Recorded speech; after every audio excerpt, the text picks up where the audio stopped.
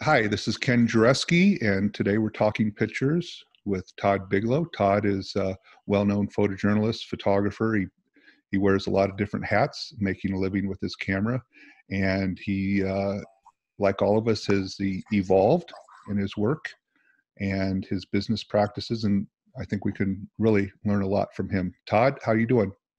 I'm doing well, thanks. I'm uh, I'm uh, glad to be here with you. So um, you started out in the newspaper world, and like many of us, you uh, I don't know if it's uh, evolved, but you kind of started getting work from magazines, and pretty soon you were not a newspaper photographer so much anymore. You were a magazine photographer. So just tell me how that works. Yeah, that was um, that was a route that I think a lot of uh, my friends and colleagues were were were doing at the time. Um, I definitely had an interest in in uh, photojournalism, of course, which we can find different avenues for. But uh, when I graduated college, I had had an internship, and just the timing was well. Uh, where when the uh, internship was ending, I was graduating, and somebody was leaving the newspaper. Small little daily newspaper, an afternoon daily actually, which is almost non-existent these days. Cool. cool. Um, yeah, it was, and, and and I'll tell you that what what you learn at some place like that is extreme deadlines. Uh, you know, you have to learn how to produce first thing in the morning and get something out to the afternoon, and then immediately begin to work on the next day's paper. So. Um, I was fortunate, and I worked at the small newspaper in uh, Ventura County, California, for for about three years, and um, then was looking to kind of uh, move on from there. And I had made some contacts with some people at the Hartford Courant. um, they weren't looking to hire staff at that time, but they were very open to the possibility for some uh, regular freelance work. They showed enough interest where my wife and I packed up our uh, our belongings here in California and uh, went back east for a period of time, a short period actually. Turned out to be only about uh, nine months, a little less than a year. And then the LA Times uh, showed some similar interest in uh, a contract type position. so I came back to the Times. Um, worked at the LA Times for about five years under a, a regular contract and uh, you know contributed to a couple of their uh, team Pulitzers under the uh, covering the, the Northridge earthquake and the LA riots and just did some had some great opportunities worked with some great people there and um, while I was there I had uh, the opportunity to kind of start branching out into magazines um, you know without going too far into it. I, I think I did what a lot of us have done. I'm, I'm not sure how many people still do it these days. I do encourage it.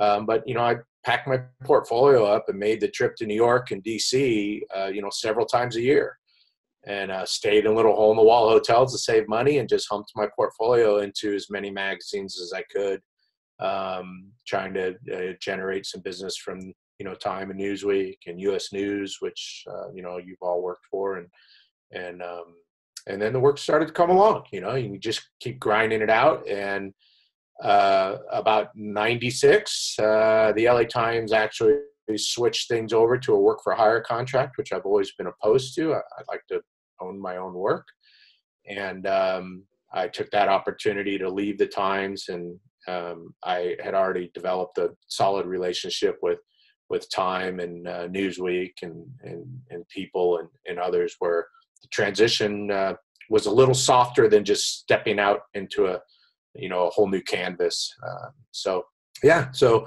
just you know went from there and you know at the time i continued to freelance for i did a lot of you know washington post work in in the 90s and, and early on even when i was uh, you know whoever came along with a good assignment as long as the fee was you know within reason and the work was good um, you know i took it Tell me just uh, so, let, me, uh, let, me, just you know, backtrack. Just backtrack and tell me what it's like. You know, you, in Ventura County, it's a small newspaper, heavy deadlines, but there's there's something really really special about working for a newspaper that size and the freedom it affords you. Can you just tell me what your normal day was like? Yeah, I mean, I you know, it's great. I don't get asked that much, and um, it's so key Ken. It really is, man. Uh, you know, it's a you work at a small paper. I think it goes, you know, to reason that you you pretty much have to figure everything out. Um, you're going to handle everything. So a small newspaper that I work for called the Simi Valley Enterprise. Um, served a small community, bedroom community of, I think at the time maybe it was 80,000 people. A couple of high schools, um, very big into sports and so forth. So my day would start early. You know, we'd have a seven o'clock meeting, 7:30 meeting, um, general meeting with the newsroom, and immediately the uh, managing editor would would tell the photo staff, of which usually is just me or one other. We have three staff photographers. Incidentally, Mark Terrill, a, a very well-known AP photographer, a highly regarded photographer, and a friend of mine uh, was also at the paper. Um, George Wilhelm, I followed his his uh, uh, his footsteps. He went on to the LA Times from the Simi Valley paper, but we would we would be told okay, we need a front page picture. We have nothing to run and there's no big news. It's a bedroom community. So, you know, 7:30 in the morning, you grab your cameras and you get in your car and you start looking for what most of us newspaper photographers refer to as wild art, you know, a feature picture. Uh, which isn't always easy to find in you know the middle of October at, at eight o'clock in the morning or something. So you know you had some spots and you had but you had to produce. You you could never come back in an hour and say I'm sorry I didn't find anything you had to produce something. So and just it, like for just to be clear, what was your deadline? Like 10, 10 30, something like yeah, that? I think I think print print had to be on desk by if I recall about 10 o'clock uh, because right. the print the, the the presses were right there and the presses would run and then they had to get you know distributed by uh, you know like one o'clock in the afternoon so we would we would come in and develop the film so we were all film so you had to shoot quickly soup your film oftentimes print a wet negative, slam that print down on the desk of your, you know, managing editor. Pray to God they said, okay, looks good. And, you know, you write a caption by pencil on the back of it. And then you take your cameras and then your day began because now you had, you know, whatever meetings, city council meetings you had to cover, things that weren't very exciting. Um, and then when the afternoon rolled around, it was almost always high school sports.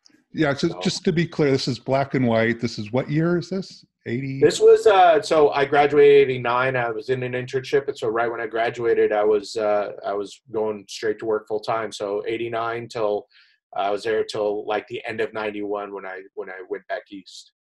So you're shooting black and white and, uh, in a, in a, in a world that's already been, um, um, Gannett, uh, Gannett, Gannett uh, has dropped USA Today on everybody, so now everybody's shooting color, but you're still shooting black and white. You're on a tight deadline, and you've got once you get past that first deadline, you've kind of got uh, you. The world is your you, it's your oyster. You're that's your playground. You you, can find anything you want. Absolutely, and and you know that's that that was one of the I I I attribute probably the largest section of my growth as a photographer to that very early early period because I, I realized the importance of of uh, producing work on your own. Um, not only producing work for your client, but also producing work that hopefully meant something to you and kept you going.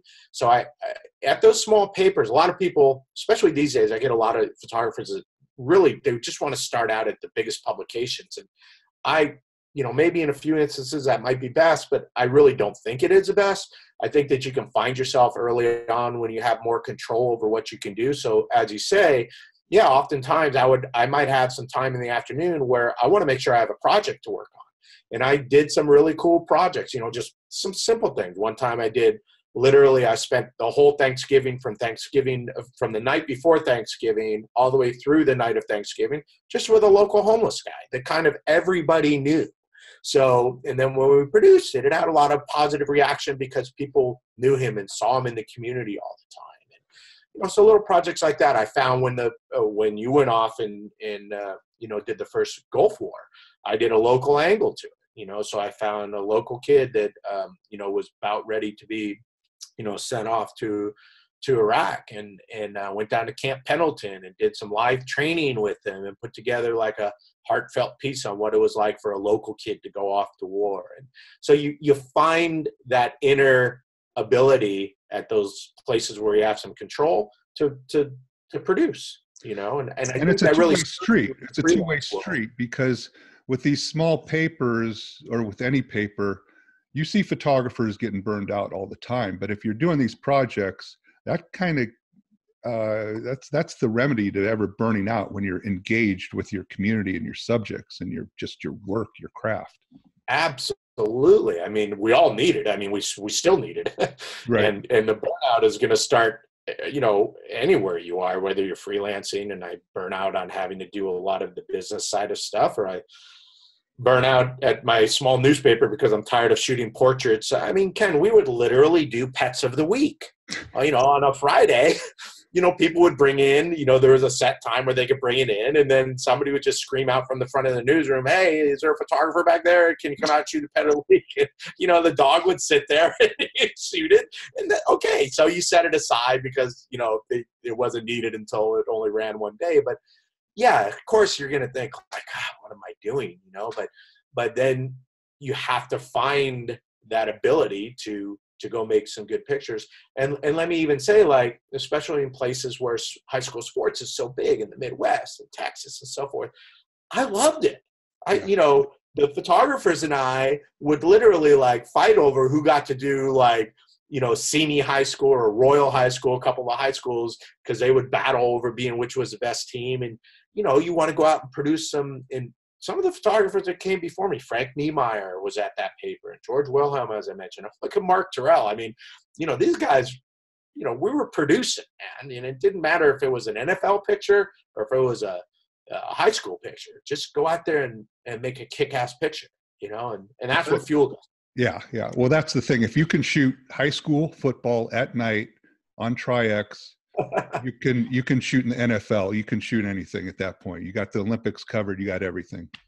I agree. I mean, everything has its own challenges, but I absolutely agree. Especially when you look at you know the challenges we did face uh, uh, with with with film and, and terrible lighting and and uh, you know having to get back and get it souped real quickly and and and and print it nicely too. right. So right. Yeah, absolutely. So tell me, I'm just curious. You're making this transition, and it's a slow transition. You kind of did it right. You didn't just, you know, jump in and and put all your eggs in the magazine basket. But what's that transit? What's the difference between shooting Pet of the Week and shooting uh, a feature story for Sports Illustrated? What's that transition look like? What's what's the the philosophy behind that because it's it's two different types of photography not not just any newspaper the difference between newspaper and magazine photography. What's how do you define that? Yeah i don't know if i have that definition. I'm, i might still be trying to figure that out um, to some degree you know? You're you're you're 100% on point. Um, I, you know when i first started to make that foray into magazines um, you know one of the first things i did was make contact with. Um, I was fortunate to make contact with a, a great editor at Black Star Ann Stack, an agency rep. And was Stack. yeah, yeah, yeah, okay, great. Yeah, she was she was a wonderful woman. Um, it was about the time that Howard Chapnick had just left, um, uh, or was no no longer involved with the daily affairs and so forth. And I got some good guidance because I think Anne saw more of a newspaper mentality, which I think relates to being sometimes a little bit more rigid in your interpretation of what you should be shooting when you have an assignment. So, you know, some of us have heard things like, oh, well, that has a wire service look to it, or that has a newspaper look to it. Those can be good things, but they can also be kind of rigid. So I, I, I think I started to find my uh, own uh, voice, so to speak, visual voice, once I started to feel a little bit more freedom to kind of create images as I was interested in creating them, and whether that was compositionally, lighting wise, or just trying to really create my own look. Um, you know, none of us were going to reinvent the wheel, but you know, I had that interest, and it didn't always work with newspapers. So when you shoot like deep pictures, I, you know, when we were shooting with when I started with the magazines, we were all shooting chromes, you know, and so you know, I love to underexpose that Kodachrome. I love to, you know, really go deep with my shoot for the highlights and go deep with the shadows, and uh, you know, you do that for for even the LA Times, and you know, they're they're not going to use it. They're going to open that up tremendously. Um, where I found a little bit more of a receptive audience transitioning over into some of the magazines where um, they were a, a, little bit more willing to push that look. What I found, and I think this is what you're describing is um, when the newspaper world, you kind of shoot what they they're they're expecting, and if you do that, then you're the hero for the day. In the magazine world, if you try to play that game, um, you have a very short shelf life. Absolutely. And so the key for me, and I don't, you know, I wouldn't recommend this for everybody, but the key to me was to care less what the magazine could want and shoot pictures that I saw and just embrace my own vision. And as long as I did that, I was successful. As long as I tried to, as soon as I tried to like give them what they wanted, that's when I I get into trouble. I yeah, that's um, boy, uh, words words. You know, those are true words, man. Um, and it's actually you know reminds me of something that uh, Jim Colton, who we all know, um, you know, former director at Newsweek, and you know, I worked with him at, at, Sports Illustrated. In fact, the work I did for many years at Sports Illustrated was solely because when Jim went over there, you know, he he reached out to me to do some work, and um, I never sought Sports Illustrated. You know, he was just looking for a certain style for some of the stories, and so I'm deeply indebted to him for for many things. But one of the things that Jim actually, you know, wrote for a little testimonial, which I I'm pretty sure is still even up on my website, was exactly what you just said was that he could in, count on me to not just produce what um, was needed by the magazine, but then to take it to another level where you know you, they were receiving something that was unexpected better oftentimes than what they were really expecting um, and and that that meant a lot to me because that's always what I tried to do is make sure I could produce for my client because I want to keep the client, but I really wanted to produce, you know, something that was me and how I interpreted and saw it. And something that's super important about that is I think that's changed a lot, Ken, and I think that is a direct result of a lack of budgets and a lack of resources and also that desire to have the story predetermined so that now you're being asked to go out and produce what either the writer or the editors have determined is the look of the story. And you're just asked to kind of produce that. And you know i can think of uh, several occasions one of which was with sports illustrated with a story i pitched uh, when it was uh, you know received um, they were a little shocked, you know, and and I think the shocking is good because I'm the one that's on the ground looking and seeing this. Um, you should be a little bit more receptive of it. Uh, whereas today, I think it's more like, look, this is what we want you to do. This is where you need to go. Um, we'll give you a day to shoot this, um, and then we need the film. Yeah, that kind of sums up our our modern world. Um, I think, can we look at some of your images? Would that? Uh, sure. Okay, let's do that. Let me figure out how to do this. Um,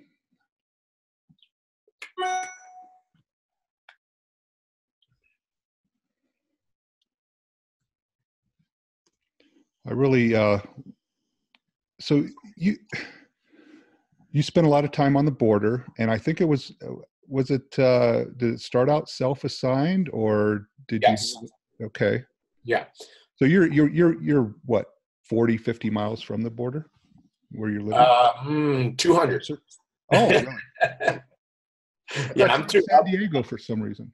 I'm no, I'm up in LA. I'm uh, uh, one of the suburbs of LA. So uh, yeah, the border is. I think if I was to go door to door, about 189 miles, 190 miles. But a lot of time I spent was uh, you know, that's that's to the San Ysidro port. So oftentimes I spend a lot of time along that border, way inland on the on the eastern San Diego County line, Imperial County line, and so forth. So, so I was making sometimes, uh, you know, four, you know, 400 mile one way, um, sometimes. So, you know, definitely 250 because I spent over a year with one story uh, that was way out in the eastern county, and that was about um, 275 miles. Yeah, each and way. As a as a photojournalist, that's perfectly acceptable. We will we'll yeah. accept that. I mean, never. I yeah, never had any issues with that at all. In fact, I would just say to my wife, "Hey, I'm going to be at the border this weekend. I'll you know I'll be home late on Sunday or Monday or something like that." And you know, beep me. right, beep me. if needed. Actually, at, at where I was doing this one story for off, uh, oftentimes there's just no signal, so I had to leave a number for uh, the resident who I was kind of profiling and said call, and eventually they'll find me somewhere on the property. oh, different times, right? I mean, yeah. There's nothing worse than being uh, in the wilds of Montana on horseback and receiving a call. Yeah, Just, I'm sure you can relate to that. Yeah, yeah, uh, absolutely. Uh, so tell me about this image. It's pretty. Uh, you you. This is uh, one of your better known images. Tell me about it. Yeah, thanks. Um, yeah, this is right down there uh, where actually, you know, a lot of time is being spent now by photographers and migrants along this section. This is called Friendship Park. It's actually one of the first areas that I began. This was relatively early in a long, uh, you know, uh, several decades of shooting along the border, a couple of decades of shooting along the border. Um, this was a so the way all this kind of transpired, Ken, was in the early '90s. The the the, the border became a uh, an issue, you know, especially in Southern California. They were trying to pass what was called Proposition 187, which is basically going to be a, a, law that stripped undocumented immigrants of, of every capacity to use any services or have any rights in California. So it touched off me wanting to look at the issue a little bit more deeply. And uh, so I just started to make forays down to the border, um, literally just just just drive up to the border and figure out what was going on. Um, and this was one of the places, you know, you can see the sea off to the right there. That's um, uh, right there in San Diego, in San Diego, San Diego County. It's called Imperial Beach, and um, yeah, this was this was a border, and oftentimes, um, you know, holes were cut in that fence, and on Sundays, um, the border patrol would literally stand off to the side, and families would kind of slip through uh, both ways and just greet and hug, and they would share barbecue. This was literally like what days would be like. And and um, it was often a place where you could just find uh, images that I thought reflected what the the difference between these two worlds were, which was basically just a chain link fence.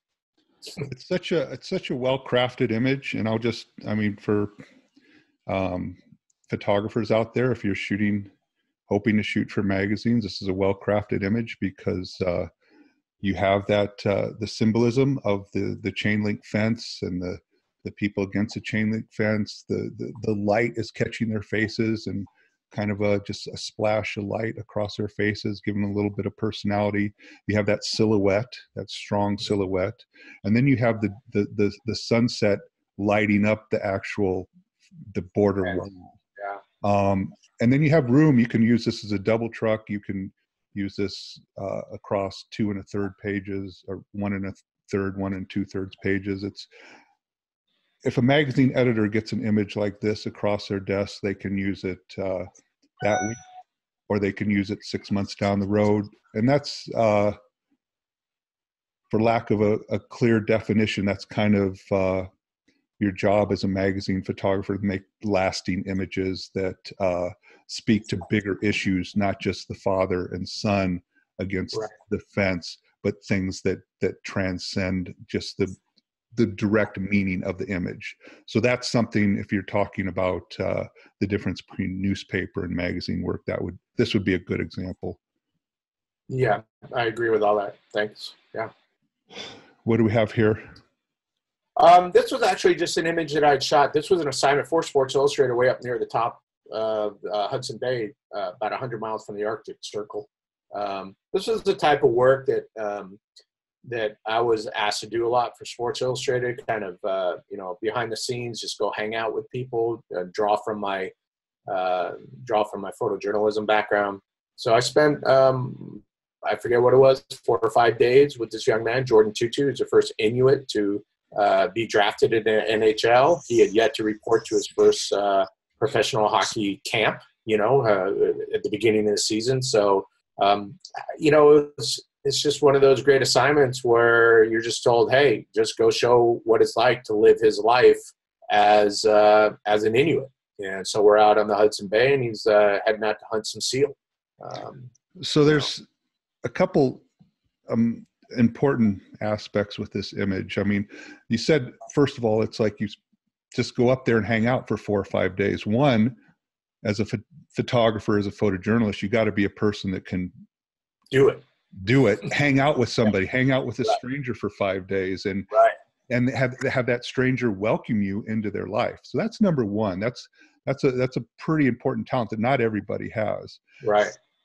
And then so just contrast if this uh, if this assignment came up today, it would be what go out and light a portrait of the guy standing on the ice? You know, without with without, I if I had to bet, I would bet it'd be something more along those lines. Um, you know, without being overly cynical about it, is it's you know it has been the evolution of how most publications have decided to pursue this type of feature uh, photography. Um, they either choose to not um, allot the resources for it or they don't have the resources for it. You know, I, I wouldn't be able to speak to that without knowing which publication. Um, at this time, and this was, you know, maybe 10 years ago, um, you know, SI did have the resources for this and, and they saw it as a potential for a strong uh, visual story. And, um, and it turned out to be a strong visual story. Let me go back to what you were saying real quick, Ken the art of hanging out is photojournalism. The fact that you stated that way is just so exactly in line with how I try to explain to young photographers what photojournalism is and how it's little different from photography or commercial photography. Right, right. You really need to, yeah, I mean, we landed, you know, the writer and I, after two days of traveling to get there, we landed at like 11 p.m. The light is up for 23 and a half hours to the day. And there was very little like prior communications. They said, "Oh, just you know, holler at us when you get into into this little town."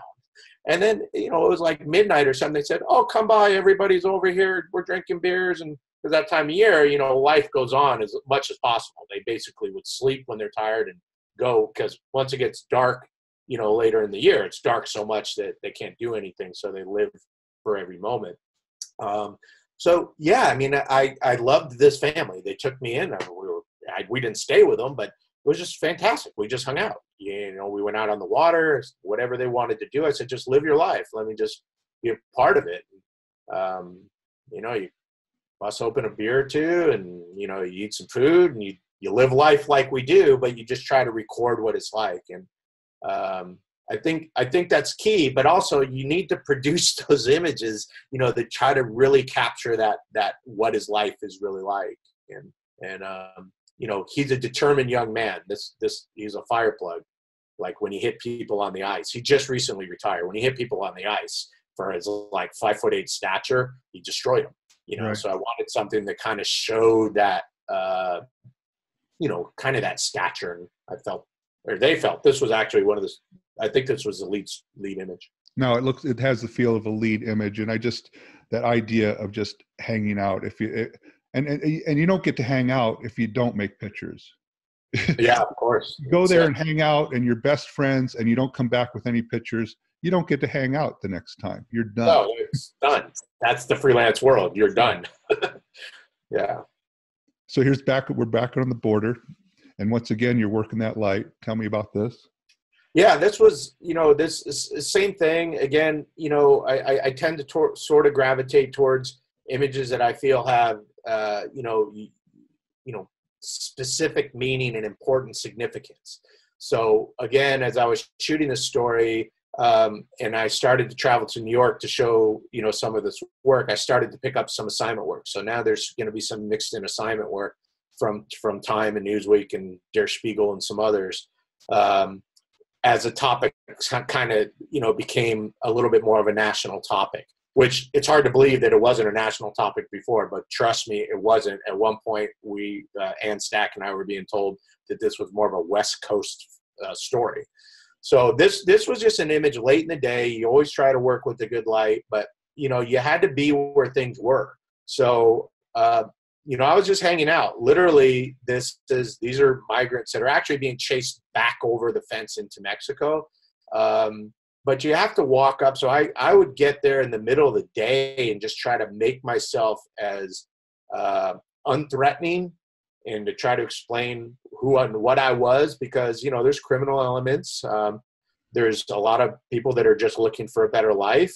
Um, but I, I couldn't do that even though this is shot probably with like a 70 to 200 this was i'm just hanging out with these people and it actually happened very quickly so um, you know all of a sudden a van appeared and they all took off running back and you know this was all chrome so you have to be constantly monitoring the light. So when you turn and swing and shoot um, you know there's no saving you know a chrome if it's uh, poorly exposed. So um, they popped up and then suddenly everybody started to you know run back towards the fence and i just fired off a few images. So the interesting thing you brought up i was just in the, the podcast before this i was talking to uh, david butow who we already mentioned somehow uh, he's in hong kong right now. And we talked about that, that dynamic and you just mentioned it here. Um, if you were working with the border patrol on this day you wouldn't have gotten this image. You no. had to kind of for lack of a better word you had to embed yourself with uh, with the, the the, the the guys trying to cross the fence.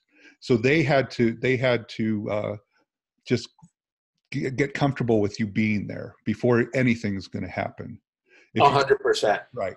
And so and then but you could have been another day you could have been spending uh, your time with the border patrol and, and shooting their side of the story and then you, you wouldn't make so you know with with david sometimes you're on the protester side sometimes you're on the cop side and you kind of just uh, become familiar to them so you can make pictures uh, and that changes every day i just it's just a you know. Yes, I, I, and I think you're going to find that component running through most of photojournalism, most most of good storytelling.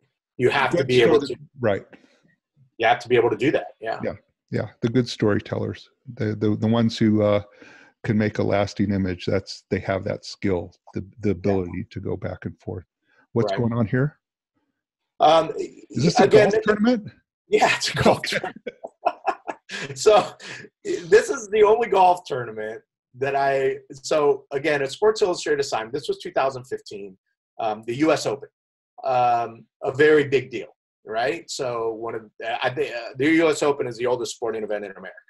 So I was asked to go up there for a week. This is in Tacoma, Washington, and uh, not shoot golf.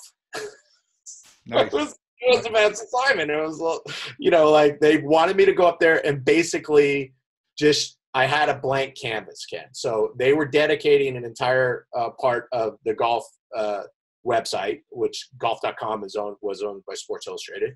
And um, they were just going to be updating it throughout the day as I just shot whatever the hell I wanted to That's shoot. Beautiful. That's the best. It, it was the best assignment. Yeah, it was the best assignment. So, you know, I would spend some time on the course, but I would spend a lot of time off the course as well. This just struck me as a funny thing. I actually wrote a funny blog about called um, uh, Cattle Pens and Prozac, my first U.S. Open. Nice. You know, I just see this as like a cattle pen. I mean, so so much of golf, when you really look at it, is is very intriguingly unique and somewhat odd. so I just saw this as a like wow like you know they're hurting them in and they're going to let them uh, well you know you're, you're you know where you are uh, you know you'd open that up and you're going to brand them hit them with a hot poker. service them, as they say. Yes, you're going to service these people. Yeah. So I, it's just a funny image for me, and I think it just represents a little bit more uh, of the capacity to have your own vision to some degree, you know, and just be able to to to, to tell it, you know, and and not have any real binders on. I mean, it's it's it's your perfect dream assignment whenever you get one of those, and they used to come by uh, fairly often. The first one I remember I was just amazed with, and this was like in, I wasn't sure, it was like 84 maybe. And Liberation assigned Gilles Peress, and it, this is print, this is pre internet. So they assigned him to shoot the Cannes Film Festival. And all he needed to do was produce one image a day, and that was going to be their their coverage of the festival. So can you imagine, just like letting Gilles Peress run. Yeah, with wild. his style, go shoot that. Yeah, that's that's that's when the magic happens, right? I mean, right.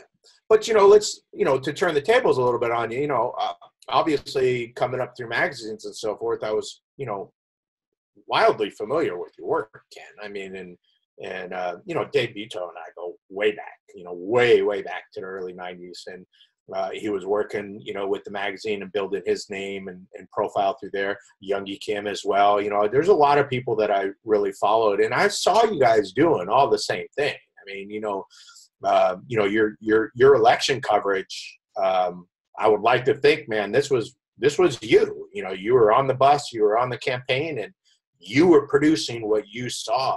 I mean, that's pretty much that blank canvas. You know, there are certain things and point pictures that I think sometimes you know magazines are always uh, uh, looking for you to to make sure that you deliver. Um, but at the same time, you know you're you have that canvas and they're asking Ken to paint it, and and that's that's a dream. Well, I'm I mean, and just to keep my humility intact, I can't take any credit for that. As Artie Grace, who you know we all know, Arthur right. Grace, great Newsweek magazine photographer. Uh, he was talking to some writer was asking about the campaign work during that time, and he said, uh, you know, he's Artie's the most honest guy in the world. He said, Jarecke doesn't doesn't know the first thing about politics. All he knows is he has to make a good picture. so, and that's all I did know. I had no clue. I was just great. Let's make a picture. That yeah. They, they, set the stage for me. Now I just got to find a picture. And, and I don't play. And I don't play golf. you know, I mean, of the of the event coverage that I did for Sports Illustrated, I did a I did a you know fair share of event coverage all over the country, PGA Tour and LPGA Tour, where I'd be asked to go cover the tournament. But I don't play golf, like, and it doesn't appeal to me. You know, I mean, I'll, I'll watch the majors and that type of stuff. It doesn't appeal to me on that level, which is why I think perhaps they wanted me to do this because I wasn't a golf lover. I might actually find some right, you know, right perspectives on this. No, the uh, the the the counterintuitive intuitive assigning of photographers is a lost art. I think. Put yeah. the take the take the take the fish and throw him on the beach and see if he can can survive. Right. Right. Yeah. True. This is nice. Yeah, thanks. This is the same same same assignment, and you know, I traveled 40 miles away because I heard a little something that uh, uh, that this is the actual U.S. Open trophy, and it was on display. So again, I had a blank canvas to do whatever I right, wanted right, to. Right. But the display, oddly enough, was at a uh, a park in Seattle. The tournament's in Tacoma. The the thing is on display. I hear in Seattle in some park as part of like some effort to brand Seattle as the home of the U.S. Open when really it was Tacoma, which is kind of the stepchild of Seattle. So I just looked at my assistant and I said, "Well, perfect. Let's go. You know, let's go see what what are they doing there. I mean, who knows? So literally, it's you know on the other side of this, which I shot. Okay, it's it's like you could you could walk up and get your picture taken with you know the U.S. Open trophy. Fine, great. Not interested. you know, so you know, we, I just literally walked around as the day was growing late, and you know, from the backside, I just waited for the elements to come together, where people were kind of looking at the at the trophy, and and uh, this was they ended up, you know, they the most of this uh, spread was done online and and and consistently, uh, you know, they were just updating, uh, but then they did a magazine spread, and I, I I in the print publication, obviously, and then uh, I believe this led the print uh, spread.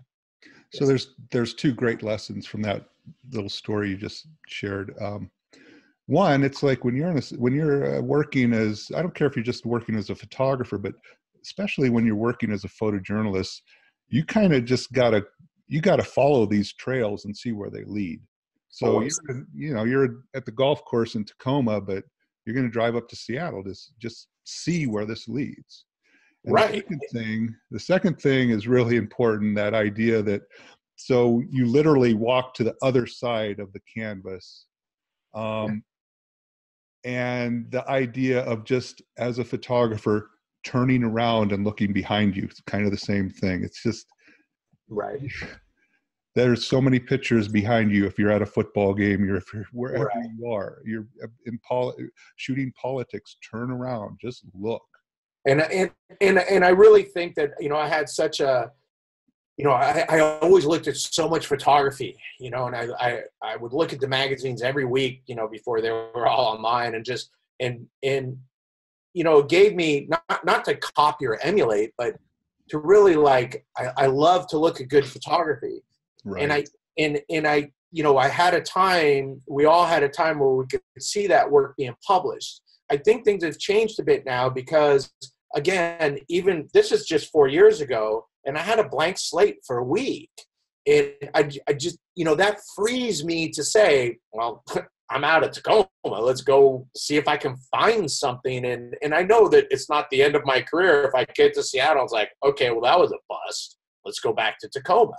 So I don't think that is as available as much anymore. So photographers, my belief is that they become so much more concerned with making sure that they get just that quintessentially standard go-to expected picture that the the idea of taking a risk a little bit has been eliminated. And the best pictures i i think not that this was a huge risk but the best pictures come from taking that risk a little bit you know to to to shun what everybody else is shooting and go look for something different the ironic thing is in a world where everybody has a camera and a way to publish that image every every standard shot every standard angle every um, every view that's not uh, doesn't just ne- necessarily have like insight or another level to it. All that's already been shot and shared. 10 times yeah there's no reason not to take risks at this point because all the standard stuff's been scooped up and distributed already. Right. I mean, right. I just oh, this is this is funny. I love politics. I love shooting politics. You know, because you take the gloves off. I don't care. I don't care right. what side of the fence you're on. Right. We're swinging. That's it. And you know, this was not photographically, even photographically we're swinging. Yeah, of course. And yeah, of course. Um, this was not even this was a discovery this was like a you know are you freaking kidding me type of like moment so this actually stems from all my immigration work um, looking for you know i've shot a lot of a lot of stories on immigration some self-assigned some assigned um, but they run the gamut from profiles for the new york times magazine on a on a texas town to self-assigned work on vigilantes praying along the border um, and, and just looking for ways to expand on a topic that has always interested me.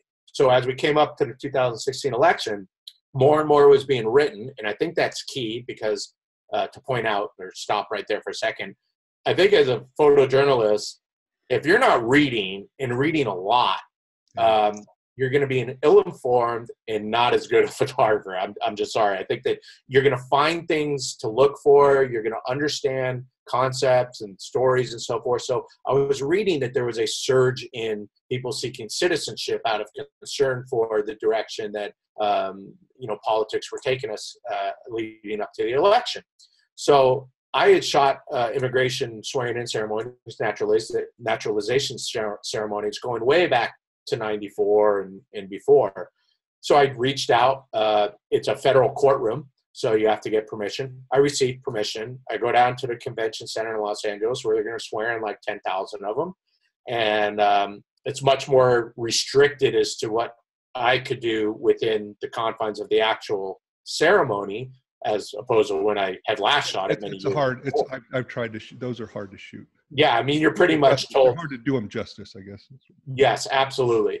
So I, as I shot, you know, and I did my best in there, I kind of just followed the flow of everybody kind of leaving. And the minute we exited, um, the minute I exited the, the the the convention center was being held, I was just greeted with this mass mayhem of political screaming, where on one side of of the exit doors, you had the Republican Party and Republican advocates on one side and Democrats on the other.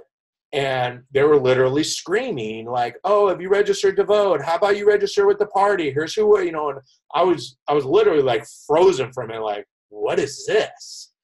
And so I went back and visited it a few more times. And this was one of the pictures. Obviously, you know, uh, I, I spoke briefly with these women. They didn't really want to give names or anything. Uh, yes, they're of the Muslim faith, and um, this picture just came together. I, you know, as, as well as I could have hoped at that at that time because uh, it was an, an, important topic at that time. Um, and um, I mean, the short answer, yeah. the short answer, what you walked into was a gift. It's a photographer's it dream. That's what it yeah. is. It was. It was. Yeah. And, and, and, and, and I remember thinking, geez, and I actually came home and I started looking. I hadn't seen anybody had really taken this angle. Um, and, and I reached out and was uh, working with, with, with, with Jeffrey and, and, and said, I'd like to go back. You want to, you know, kind of take a look and help me put some of this together. And, uh, you know, Jeff said, of course. And, and Je- uh, Jeffrey Smith at Contact Press Images. Yes. Yes. And, uh, sorry, I should have said that. And he, uh, he, uh, I went back and we put this together and we put together a, a pretty solid set of images that kind of told this aspect to the story where the, it was a battle for voters. And um, right. we pitched around, and and um, and uh, PRI ended up running a, a, a, really nice spread, you know, and and uh, that's so funny. Yeah, they actually they actually asked to write the story radio station is running your pictures. That was the funniest thing of all because, and, and I'll tell you, since we're going to talk, you know, complete frankness and reality here, we reached out to a lot of the traditional media powerhouses. Um, they showed interest or feigned interest, or, you know, they, I'd like to say they showed legitimate interest. Um, virtually no one was willing to pay anything for the publication of the images. Yeah, and uh, that's, we that's, we weren't willing to accept that, so we kept looking around, and sure enough, you know, we came across uh, PRI has a big section that is devoted to immigration and and and other social, you know, initiatives and so forth, and and uh, they offered a fee, and and um, and we went with it. So. Yeah. So there's two important things you said there. One, this idea. You know, I remember Rich Clarkson was talking about uh, Chris Johns, and this is like say, okay, back in the ancient days. Um, and really. uh, so Chris, you know, National Geographic photographer, became their uh, managing editor eventually. But back then he was a photographer, and w- this is Rich Clarkson, who's a legendary director of photography. Um, you know, just every, I mean, he's National Geographic, uh, started the Topeka Capital Journal. Right. right just you know he's very influential. He's a very very influential uh, director of photography. So he was he was telling a story about how chris johns um, would research stories and get story ideas for national geographic and he'd read the wall street journal every day. The wall street journal at that time didn't great yeah. They yeah. used sketches or they right. used illustrations when they had to have like something other than type. They would use a, a, a gray uh, sketch of somebody, whatever illustration. Um, so this uh, award-winning photographer shooting for National Geographic at the highest level was using the Wall Street Journal to do story research and come up with ideas. And then the other thing you said, this this whole thing with uh, I don't know, have we lost the the the simple pleasure of looking at images? Are we so like just fire hose down with images coming at us from every device and angle and TV screen that we can't just sit down and have a cup of coffee and page through a book and just enjoy these images and then study them? I don't know what your process is, but for me, it's always been like this image, this situation, how would I have approached it? Would I have done better? Would I have done worse? What did this photographer do that I I can I can uh, I can right. I can add to my toolbox? Uh, what did they think of that I wouldn't have? Th- These are the thought processes that go into building up this craft. That you know you hopefully you know like I said toolbox that you have these these tools to pull from. I, I don't know if we have that anymore. Well, I think that's a personal choice. I mean, I couldn't agree with you more, and I still do it. And I, I, you know, whether it's books or magazines or websites or wherever, I mean, I, I, I will stop and just linger on photographs and just be stunned by them, or, or maybe even be appalled by some of them. But whatever the case, I will look at them and feel a capacity to like want to figure out how they did it, if there's something technically, or just like how did they get into that situation? How are they? How do they know to be in that spot right at the right, right time? Even right. like that, you know, that's what drives me to the point of of uh, yeah, just wanting to look over and over again. You know. You know, I caught a glimpse of, glimpse of glimpse of this image. Let me try to move this. Whoops. What are you seeing on your screen? I'm seeing the overall photo mechanic uh, slides. Okay.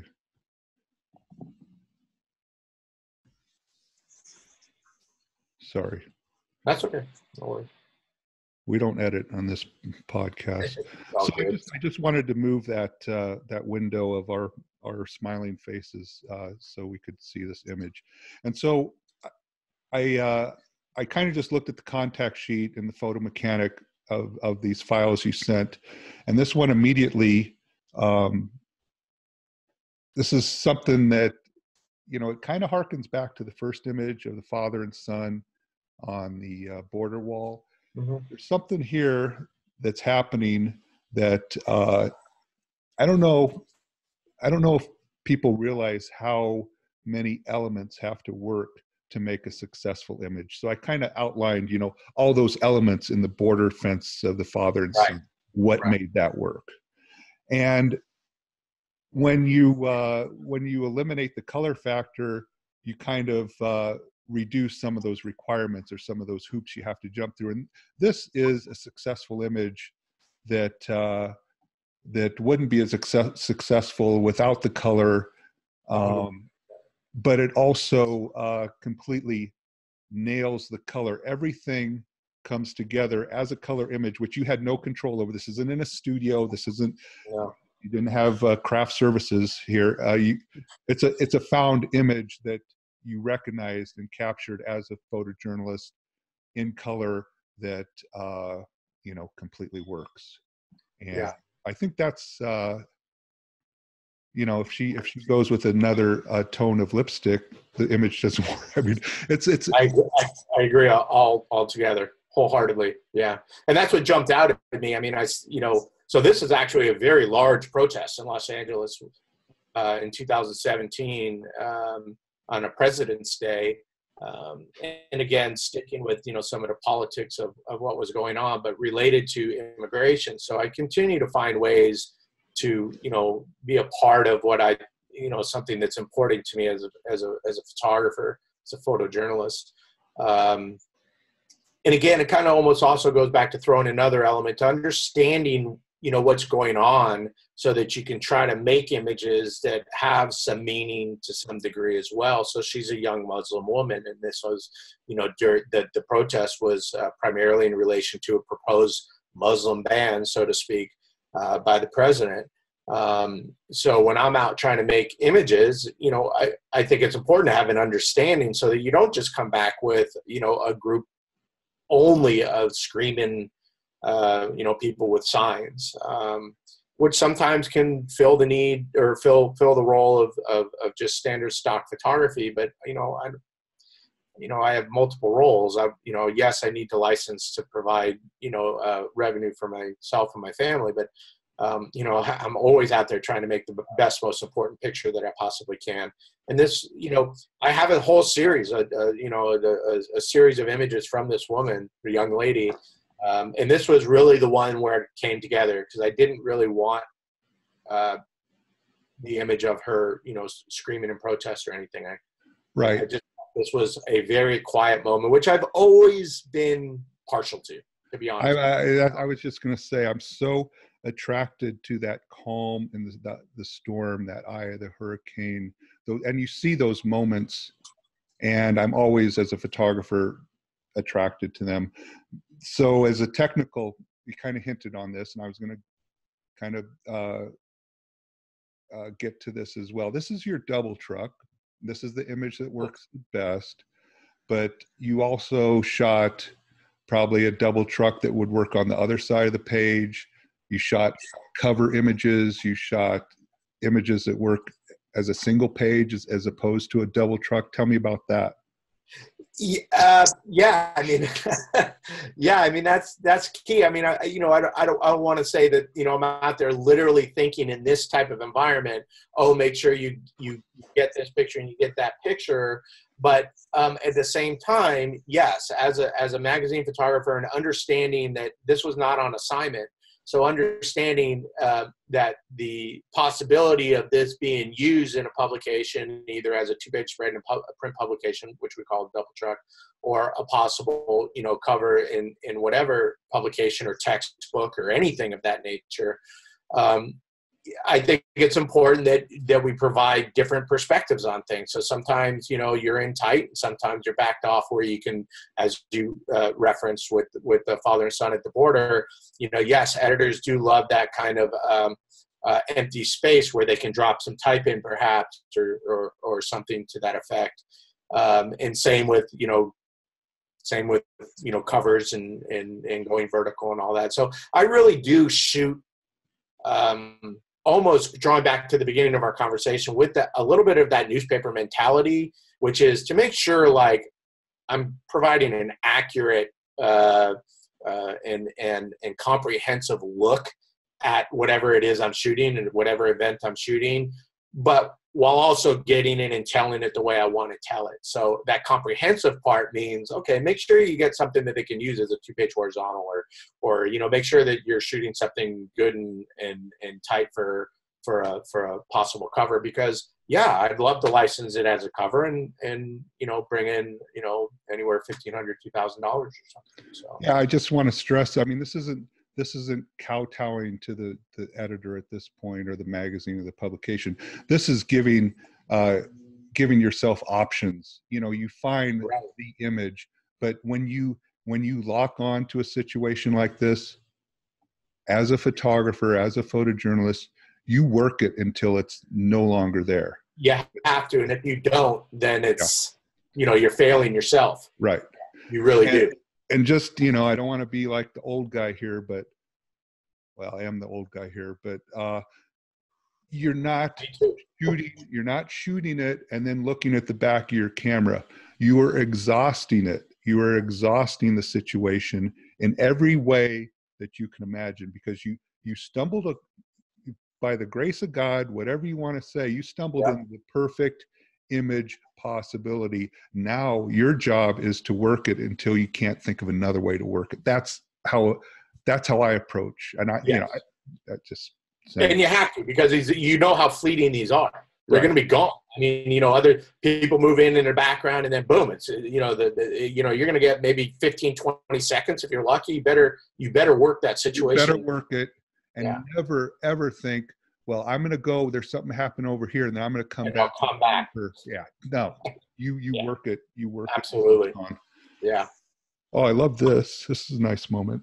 Thanks. Yeah, this is from uh, that project that I was working on on on uh, on uh, New Americans is what we called it. So um, this was this was actually after the election, so I continued to work on it, even though it had been published by PRI uh, prior to the election. Um, but I wanted to continue uh, because this this process has continued on with with immigrants um, uh, seeking citizenship at at record levels. So um, yeah, this was a something that I just saw. I, I really love their hand. You know, again, it's a quick, fleeting moment. I have other images of this woman that I continued to work. Um, she's 103 years old. Um, that I from Vietnam, and I continued to work her uh, but this was really a very very quick this was really the only one that worked for me. Well i just i mean this is this is one of those images that is like okay this is like the low hanging fruit. This is the gift. If, it, if you don't make this image you just yep. be in the room. This is just it's it's there. You right. got it and yep.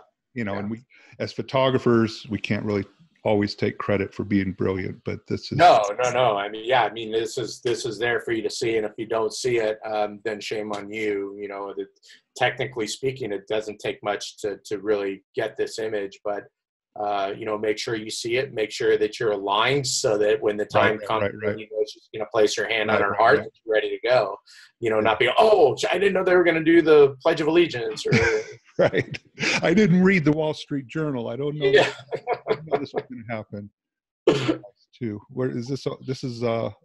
This is the migrants down at the border. Just right. this uh, re- recent surge at the end of last year. Um, I have a client that had me uh, go down there and spend some time, and um, uh, th- this was when it was kind of you know nothing was really set up in Tijuana as far as where the migrants were supposed to go. So they were being kind of uh, pushed into various parks and you know makeshift camps and so forth and so on. So um, this was just this was a very unfortunately you know not, well I shouldn't say that because that's very actually um, uh, selfish for me to say.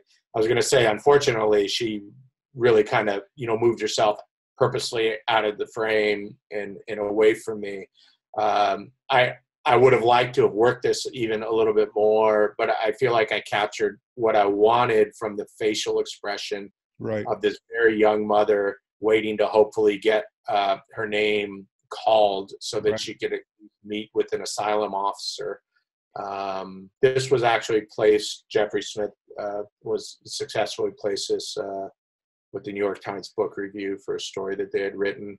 Nice. Uh, yeah. I mean, so you know this is one of those moments where uh, as a you know i hate to go get uh, get into the uh, get into the technical aspects and not technical but the i don't know working aspects of what a photojournalist does. And this is one of those situations where the image is the the possibility is so good that you have to be careful. You don't want to like muddy the water or spook them or any you just got to work it so slowly and you and and then it and then like you said she moves away and it's gone. And so it's just one of those delicate situations. Besides that i think and this has always been on probably not always but at some point when i started deeply thinking about this kind of stuff uh, this is one of those images where, as a photojournalist, you should be making images that uh, that invite the viewer to to see, just step into that your subject's shoes for 30 seconds, 10 seconds, whatever it takes to look at that image. And this is this is one of those images, and I know it's you know it wasn't uh, you wanted to work it, you wanted it, but but a viewer, man, woman, uh, husband, wife, with a child or without a child, they can look at this image and they can put themselves in the place of this woman uh, holding her child. And so that's a successful image. Thanks. Uh, same same situation here, Ken. Um, and, and so to draw what you just said, I think is so key, which is like, uh, you know, you want to put yourself in this situation. You got to work yourself into some of these situations. This was already, you know, there. The international media was all over this. You know, I mean, everybody, every everybody's stomping all over it. I know, just, stomping all over. We've right. been in those situations, and and it's, it's difficult to be in those because on on every level, every photojournalist uh, you know, has empathy for their subjects. Uh, you know, any photojournalist that has a, uh, an ounce of a heart, you know, has empathy and they, they don't want to ever do inflict any damage on to their subject, psychologically, emotionally, anything. So, you know, you have to tread lightly, but you know, you also need to capture images that are that are that go beyond just you know that standard point picture. So I think like and all of my colleagues you know and, and yourself and everybody else you know we're after pictures that can kind of tug at the emotional strings. That last image with the young mother i think was was uh, you know did uh, to some degree. Um, the chaos of this one to some degree with the very very brief. I mean i have this is really the only frame where it, it, i kind of capture that that moment of like uh, this is just you know, because then immediately, you know, his hands come up. And so you have to be, again, you have to kind of be in that situation. You can see that I'm working with a, with a, you know, in close proximity to these people. Um, so you have to carry yourself as a photographer when you're making these pictures. Um, and I know so many of my colleagues know this. So if they're listening or they're seeing this, they, they, they, they, they know. I don't need to explain it to them, but but you have to be ready to take, get that picture. So you have to be there in that situation and and and um, and, and hopefully capture something that that it gets it across. You know, it's kind of it's kind of one of those images that, uh, unfortunately, uh, say like since the birth of modern day photojournalism, say World War II, it's one of those images that we've seen time and time again in the 20th century and now the 21st century, where it's displaced people, whether it's like Hurricane Katrina or whatever it is. This is like it's almost a mem at this point. It's just yeah. this is just the world we live in. Uh, and that's unfortunate, isn't it? It's sad, and we've all covered those. You know, I mean, and you get tired. You almost get tired of covering it from the perspective of like, geez, does this really have to happen to all these people again? Whether it's Katrina or it's Rwanda or it's Kosovo. It's just, it's just, it's just constant. It's, it's constant. It's constant. You know. Oh, and that's what Sal, that's what Salgado was after with migrations. I mean, right, you know, right. I mean, it's been constant for so long. You know. Right. So I, I just I, I just realized this was this is probably in uh, Arizona, but first I thought it was Rwanda. no, no, no, no, no, no, no. Sorry, Rhodesia. The for the no. Rhodesia. It, it, it has that feel of the African uh, bush and the the the floppy bush hats, and yeah. it's got kind of even that 1970s Rhodesia color to it. doesn't it? I mean, it does to some degree, yeah, but it's chromes. um, let me ask you, why Arizona? Uh, I think I hung out with these same guys uh, down in boy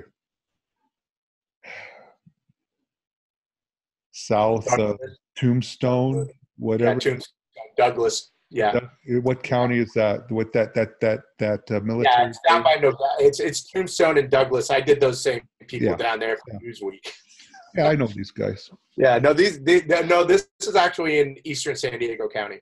Oh, okay. So, uh, yeah, so this is actually very early on. So, uh, you know, if I could just, this is I, I I wanted to have this image shown for a couple reasons. Not so much because it's an aesthetically amazing, beautiful image, um, it's actually the result it's an important image number one and and more importantly than that for our talk here it kind of speaks to like what we do as photojournalists. So real quickly in 94 when i first started to spend time down there the, uh, down along the us mexico border um, one of the the biggest stories in the country was what was called operation gatekeeper and it was the clinton administration's attempt to shut down um, undocumented immigration um, and they did this big dog and pony show where they, you know, wheeled out all the border patrol, and they had the, all the international press down along uh, very close to where our first picture was at in Friendship Park, and said we're shutting down the border, and um, you know, okay, sure.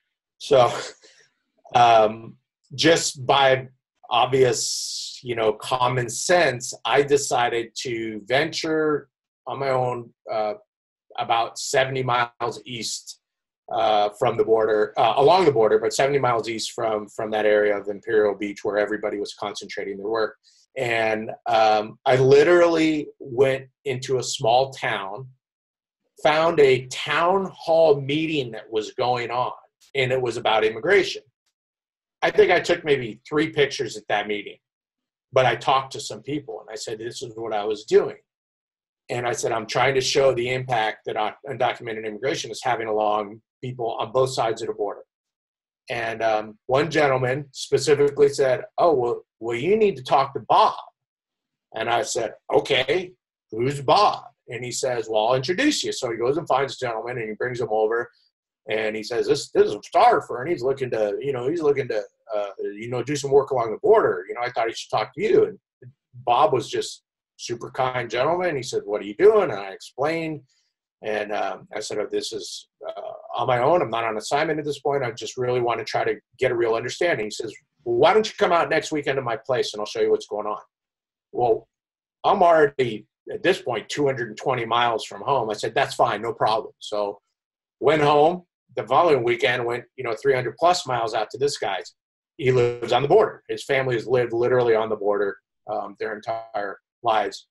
I pull up to the gate his wife comes out, says, Can I help you? Dogs are barking. You know, this is rural. And I explained it was. And she says, Oh, yeah, I think he's expecting you. So she calls calls out on this little walkie talkie radio He comes bouncing up in his truck, couple of rifles in the window, and he says, uh, "Oh, hey, it's good to see you. Yeah, jump in. We're we're chasing some." And I, okay, I I really have no idea what to expect. No idea what you're getting. I got no, no, idea. So we get in. I get in the in the truck and and and we go bouncing down through these dirt roads and and we stop all of a sudden. I'm looking out and I and I kid you not, Ken, the brush stands up. and it was three guys in ghillie suits yeah. with brush on their heads, with assault rifles, camoed out. And Bob starts talking to him and says, so they had been chasing a group of undocumented immigrants. Okay. So I, you know, out shit myself. sorry, sorry for the language, but um, anyways, to, to, to cut to the end of the story, um, I asked if I could continue to come out. And for over the course of a year, I went out there as often as I could, stayed all weekend, and I just documented what they were doing. And um, this is up until this point, to our best knowledge, and Ann Stack at Black Star and I, you know, took this immediately first to Kathy Ryan at the New York Times Sunday Magazine. No one else had produced this this this vigilante type story along the U.S. Mexico border, and it was, you know, it's pretty solid. I mean, we, you know, it was it was a solid it was a solid story. It was it was well told, I think, as far as comprehensiveness about what was going on and fairness and so forth. And uh, and we placed it with the New York Times Sunday Magazine, and and after that, um, um, you know, other things came to me from various publications asking me to go document this along the border or that along the border. Uh, so, just to be clear, this this image was published in the New York Times Magazine. I, I, I can't remember if this exact one was. They ended up running a. Uh, I don't believe it was this one. I believe it was a guy on the left where he's actually standing to the right with his assault rifle, and then there's a few of them on the ground as the left that was the lead, and then a couple of other. Uh, it ran over the course of uh, one page, and then a double truck, and then I think the back page. So either three pages or four pages in in uh, ninety eight or something like that. Two ninety nine maybe. Cool. I mean, I was just you know expecting this for you to say this oh this has never been published i wanted to show it here well i don't i'm not sure me it wouldn't have surprised me it, i'm not sure it's been published in print but but um, a version of this not this exact frame i don't believe uh, was published okay so this is more of uh, the uh, other side of things well it's the other side of things but it, photographically it's almost like things that you can actually get paid for today yeah, and you know, I I guess you know, I, I how do you sum up like some of what you've done and just you know maybe a dozen pictures or something? But I, I guess I wanted to show that um, in it really kind of comes back in full circle with what you were saying about starting with the newspapers. So in the newspapers, you know, that first newspaper I worked at, man, you're going to shoot a portrait at 10 a.m. You're going to shoot wild art at 11 a.m. You're going to shoot a sports event. You're going to shoot the pet of the week. You're going to shoot you know you got to learn how to do everything and and and as i continue to do that you know at the hartford courant you know and then on a contract at the la times um, and then into the publications and being guided by really good people you know my agency reps and then when i went over to aurora in the late 90s and working with jose Azel and a lot of other really good people listen the more skills you have the bottom line is i want to be producing important work but i'm also you know, I've just celebrated our 30th anniversary. You know, I have a son in grad school and, you know, a mortgage to pay. You know, if somebody asked me to light something and it's a good day rate or you know, good publication, so forth, I, I would love to say yes and be able to do it. So this is the other side of being that freelance photojournalist. I think is important, you know, and, and this was first sports. It's a great point. It's a great point. This, uh, um, everybody's always telling you to specialize, specialize, specialize, and I was just like, no, no, I'm, I don't want to. I don't want to just like shoot one thing. I want to shoot everything, uh, sports, whatever you know, news, yeah. politics, color, black and white. Uh, I never wanted to specialize, and I think that you know, um, we're photographers first. We do journalism. Um, but we don't you don't want to get pigeonholed i guess is what i'm saying no i think that can be a, a real trap and this story actually this was part of a broader story for sports illustrated on fox hunting in america. So i actually went out with these people. They hunt coyote because there's no fox in california. So we were hunting i spent days with them. In fact the writer and i beat the hell out of this rental 4x4 trying to keep up with these people on horses. Sure. destroyed this thing. So yeah. um, but well, the best, the best, the best uh, all-terrain vehicle is a rental vehicle. Just yes, always, right? Especially when you can't ride horses. So, um, this was a uh, this was a collaboration with the editors at SI. When you know, I said, you know, listen, you know, I don't feel like I have that kind of like opening shot. You know, you want to try to you want to try to put together a a, a, a lit portrait that yeah, you know, maybe we can open with. And they said, sure, we'll give you another day. You know, let's try to set that up. So we did. And it wasn't even meant to be lit. You know, be prepared when you go out on a shoot. This was they they showed up like two hours late. This was I had scouted this location close to where they kennel their dogs oh, and the horses, right. and it was beautiful lighting at the time that I'd right, set it up right. at like seven thirty in the morning. You know, because I got dealing with dogs, so you don't want lights and horses and blah blah blah. But I brought a generator with some lights and so forth, and then they were late. We just had to like, you know, we had to improvise. Be prepared. Yeah. So, um, thank you for sharing those images. I was well, just thinking you. about this uh, image. It's, I mean, it's so good that thank you. Uh, Shepard Fairey could steal it and really not have to do much. am I am I wrong? No, I don't know whether to take. Yeah, uh, I'll take it as a compliment, but I hope he doesn't steal it. no, he's got he's got one of these. It's so similar to that. Um, yeah, yeah, yeah, that's fun. Uh, actually, I have actually own the print, so I can't. Yeah, that's fine. So let's. Uh, so that's a good segue. Part of uh, part of your evolution as a photographer, you you mentioned it before. What exactly is a work for hire contract? Yeah, um, you know that is the evolution we've all been through, Ken. You know, you, you as freelancers, you know, we we we we have to make a living. So, you know, things change, and that's we shouldn't be we shouldn't be so resistant that we can't evolve because if you don't, if you show so much resistance, you don't evolve, you become extinct. So, but at the same time, there has to be, I think, for me, there has to be a certain threshold, and there's you know work for hire contract is, is pretty simple. There's two types. One you're an employee. That's actually considered work for hire by its definition. You're an employee. So as an employee man you get you know your benefits you know your check's going to drop every two weeks um, you know you have a health plan hopefully and maybe even you know a benefit package including retirement so forth and so on. Great that's true. vehicle, a vehicle to drive cameras a vehicle to drive you don't have to you know the, the the new nikon shows up the new sony the new canon you know the department handles it they tell you to come by and pick out your gear or let them know what you need and all that's taken care of. No money out of your pocket. That's terrific. What you don't have as an employee is the ownership of your work. Your employer owns it. Fair trade off, most would say. As a freelancer, you do not get anybody giving you gear. You have to purchase it. You do not have anybody giving you 401k benefits. You do not have anybody giving you health benefits. There is no guarantee whatsoever that your next check is ever going to drop. What you do have is the ownership of your images if hopefully you're a good enough photographer and you put some things in place, you can use that to create revenue um, by licensing to publications that are interested in immigration and so forth and so on. Photographers have been doing this for a long time.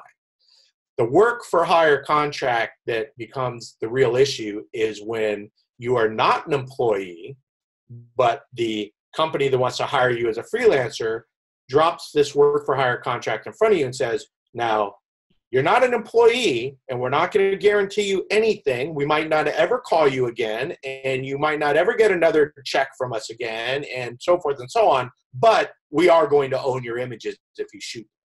So now you don't own your images and you have no guarantee of ever having any work again. And it's just not something that I feel is uh, ever going to be conducive to um, running a successful freelance uh, career unless you're on a trust fund. If you really, it makes no difference if you ever make money, then you know that's out of the equation. But I, you know, I I don't know people like that. So Um, you know. Well, so you and I, you and I have uh, had this conversation, not necessarily with each other, but dozens and dozens of other people online over the last probably 10, 12 years. And the next thing they would say is, well, this is the contract they're offering me. And this is a big corporation. I can't, I'm just one little photographer. I can't fight against them. Well, um, you know, I don't, you know, it, the bottom line is you have to make a decision on what's best for you, those that depend on you, um, and so forth and so on. I don't know any business model, and I would present this uh, question to anybody who makes that statement that, like, well, this is a contract, so I have to sign it. If you go present that type of argument to, you know, uh, the any, you know, Wharton School of Business or something, literally in a business 101 class, and say, listen, you know, here's how I plan on doing business. I'm going to have no guarantee of any work, and I'm not going to own the intellectual property that I create. I, I think you're going to have professors look at you with a really wide eyed, well, how do you expect to make a living then? Okay, so the bottom line is as freelancers, which most of our professional industry now is freelance, um, you will have to be make that choice. Do you feel that if you work for a, a, a work for hire contract like the Associated Press provides their freelancers, or the New York Times provides their freelancers, or Condé Nast provide, provide, provides to their freelancers, and just so many others. Will are you going to gain something so exponentially that it overcomes the fact that you can never earn licensing revenue from from having given up the rights to your work, or you know what what's the situation? So you, I never tell people don't sign it or do sign it. I tell them what I tell my son. Man, there's a pros column and there's a cons column. You're going to have to see which one outweighs one another. Okay, but I can guarantee you if you fall for the, well, we can't guarantee you any work, but we'll probably use you again. So if you just sign this, you know, you'll do it. Um, it, it usually doesn't work out too well. I mean, we all, eh, both of us, we've heard the nightmare stories. People sign the contracts, they pull up their roots. Like, uh, unlike you, they who moved from California to New Hampshire or whatever, they didn't have any guarantees. They didn't, and they so they they they moved from from one place to another, and they sign the contract, and then the phone never rings. The the promises are are vacant. And you know, for a variety of reasons. One, the editors leave. Sure. So whatever editor was convincing you, like, listen, if you do this, I'm going to call you. Great. They up and leave and they go to a different place. And now you have somebody else that has a different Rolodex, so to speak, you know, a different group of photographers that they want to call. So suddenly the phone, that's very common. I mean, that's, that's common. So you need, you need to, you know, really look at it from the most truest perspective, in my opinion, which is if they're going to guarantee you and I, am speaking to the choir here because I know that many of my friends, back when the contracts were offering contracts, back when the magazines were offering contracts, would be guaranteed 50, 100 days a year. Um, you'd still own your work, but I'm, I'm, let me, let me, let me just say, if the New York Times or any other publication, Associated Press says, listen, in exchange for the work for hire, I'm going to guarantee you in writing here 100 days a year, then I would implore especially younger photographers looking to really kickstart their career, but also actually be able to pay the rent, that might not be a bad deal for you. Look at it a little harder. So just just but those don't exist. Okay. No one's doing them. No one offers those. Why why don't they? I mean so just to backtrack, a magazine contract or even a newspaper contract, the wires actually had a few contracts like that, which would guarantee a photographer a certain amount of work each year at, at a standard day rate and the photographer more often than not 95% of the time would own the copyright of their work and be able to profit off that work at a future date so right. that was the industry industry standard um, ever since uh, you know Elliott Erwitt right uh, fought this fight for all of us back in the 1950s with life right and you know nobody I mean, he fought a big corporation. Somehow it worked. He got blackballed out of the deal, but yeah, he did. The rest of, yeah. us, the rest of us benefited. Um, so why don't those contracts exist anymore? You know, one, I think it's the the, the publications and wire service so forth. They they understand they don't have to offer that. I mean, why don't so, why don't they have to offer it? Well, because there's just such a pool of photographers out there that are willing to um, acquiesce to these demands that are so one-sided that why offer something if it's not necessary? So, um, you know, we can we can't really go back in time, but we do know that, uh, and much of it has been talked about online, that photographers can be their own worst enemy. And and you know, when you agree to these terms, um, you know, it, it's it's not going to help it down the road. You're going to you're not. There's never a contract that comes along that gets better the next time. It almost always once you give away something, it's not going to be put back in.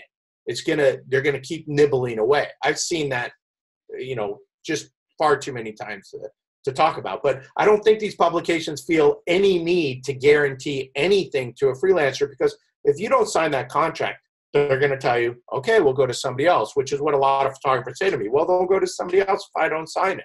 I said, okay, we'll go find a go find a client that doesn't offer you a work for hire contract. What's so? I mean, New York Times, a wire service, whoever, any and name any publication. I mean, what's the end game for these photographers that they'll sign away their work? I, I can't even imagine letting someone else own my work. I've never even, uh, I mean, even with Time Magazine, right? Time Magazine was a bit of a stickler when it came to their cover images, uh, right?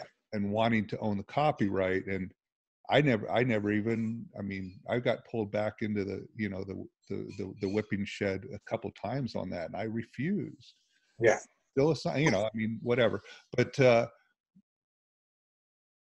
to what what's the draw? What's the end game? What what do you hope to accomplish by signing a contract that's going to, um, you know, you get to shoot a, a hearing on Capitol Hill, and next week the phone might not ring and a year from now, if you happen to shoot, I don't know, say the Anita Hill hearings, that's going to be published for the rest of history.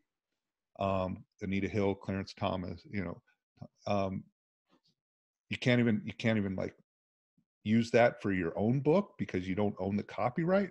What's the end game? Why? Why? I don't. I you know I the end. I think and I in my workshop I show a lot of contracts, like the legitimate, real contracts where some will just blow your mind. They specifically prohibit you even displaying the image in your home. In your home, you're not allowed to. It's in the contract. Um, so, you know, some of them are mind-boggling. What I think the end game for a lot of photographers is they think, particularly when it's a name brand entity media company that's hiring them, is that this is a door. And I understand, you know, I understand their thinking to some degree. I have a 23 year old son who's kickstarting his own career, not not in journalism, and he's looking for networking opportunities and to build out his internships and to really find his way into his profession.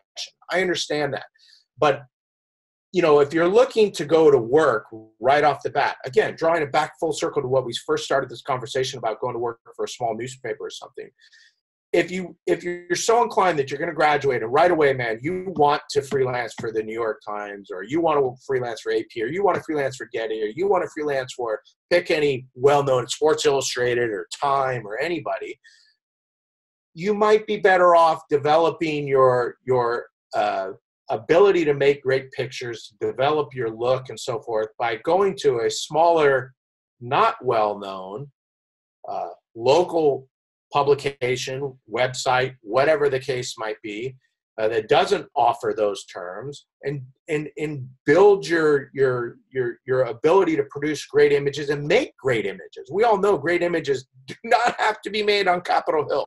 They do not have to be made at the World Series. You know, I mean, they just don't. You know, I mean, look at Pat, excuse me, Pat Crowe's work from Delaware. You know, uh, that was work way back in the day that just blew me away. It was a tiny little town and a tiny little community that he was just consistently producing just beautiful, beautiful community-based photojournalism. So I think some of the draw for the photographers tends to be like, well, this is how I develop my name. I, I would necessarily. No, there's, I'm just saying there's no. Uh, what, so what do you do? You you you keep working for the New York Times? You think you're gonna what shoot uh, shoot for Nike next? I don't. I don't. I just. I'm, for the I'm not sure. I'm not sure. A lot of them think that far through, um, and I don't mean that in any way disparagingly. I just think that it tends to be, oh, here's an opportunity here and it's with a big name, pick any name, um, I have to take it. And they don't really give consideration to what that contract says and what it really means. And I, you know, I've had those people countless times in my course and talking about, well, I didn't really understand what that work for hire meant.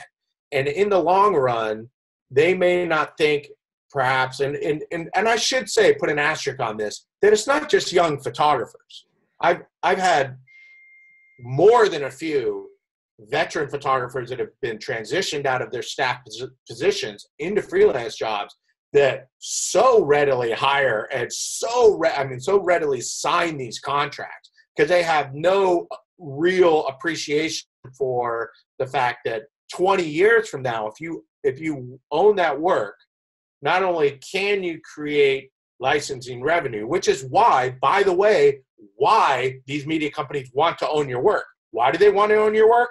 Because they know they're going to keep using it or they're going to pass it off to subsidiaries or they themselves are going to license it. It's built into the terms of the contract. It specifically gives them those rights. So, in you know, I think a lot of these photographers just don't want to consider it or they think it's the road to um, exposure. And that exposure will lead to, yes, being discovered by, you know, the next you know, Nike or whatever. And it, it's just so rare that something like that would happen. You know, it really is. It just doesn't happen too often.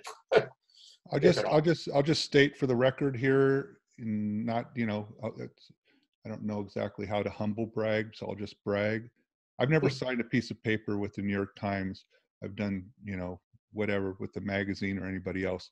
A week ago, right. I had a front page picture in the New York Times. Never mm-hmm. signed anything with them. Right. That's There's a what uh, right. So you know now I, here's a here's a counter argument to that that I know I would hear from a young photographer where you're Ken Jarecke. You can you can do that. Yeah, I'm a bad motherfucker. That's yeah, but you know there there are actually ways to do that. Now, you know you can push back and try to create a more manageable contract. And some people are going to tell you no. I've discovered that. I I mean, countless times countless times. And then I've discovered countless times also that they are willing to like change a little bit of, of the wording and, and let you retain the rights to your work. Because oftentimes, as we know, in fact, not even oftentimes, almost all the time, the contracts that are being presented to you by photo editors or the director or whoever's given the creative director is given, they have nothing to do with it except pass it along to you. They're being written by lawyers. Right. So, you know, perhaps they can be negotiated, but you know, I I look at it when I talk to younger photographers, even veteran. I had a talk with a longtime Pulitzer Prize winning photographer the other day on the phone who needed some information on licensing. He's a former staffer, um, and he just didn't understand the licensing. So we were talking about these things. The the idea is, it, you know, there's a long play at this you you know if you only approach it as a short term play well i'm you know I'll, I'll take it while the assignments are good but especially if you're 30 years old okay where are you going to be at 50 at 55 because that sneaks up on you really quickly yeah. you know? I mean really quickly. So what are you going to have i mean i'll, really... I'll be 55 in just like under 10 years. Yeah me too yeah, what, myself. What, what, what, I mean, not that you know you didn't predict this, but what what happened at Sports Illustrated? This whatever is it? Sports Illustrated? I don't know what it is, but what happened at the formerly great sports magazine yeah. known as Sports and, You know, I don't even want to say I predicted it because I don't want it to sound like I was like, okay, you know, I was, you know, I I knew all along. Man, it was written on the wall and and I think that's part of the problem. Too many people try to uh, stick their head in the sand and pretend like we don't have issues that we have to deal with. And if you're will, if if you're if you're going to be a part of that, then you you really are part of the problem.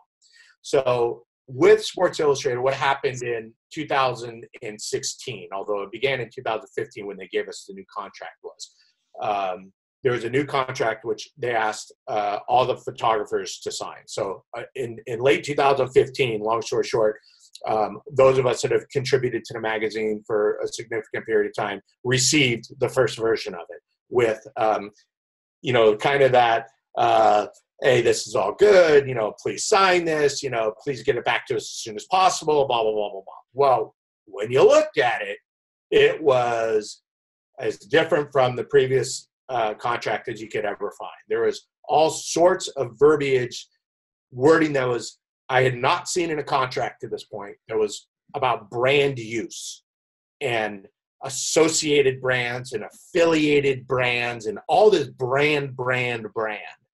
And then, in a nutshell, it was a massive rights grab. You retain the copyright most of the time, depending on what you're shooting.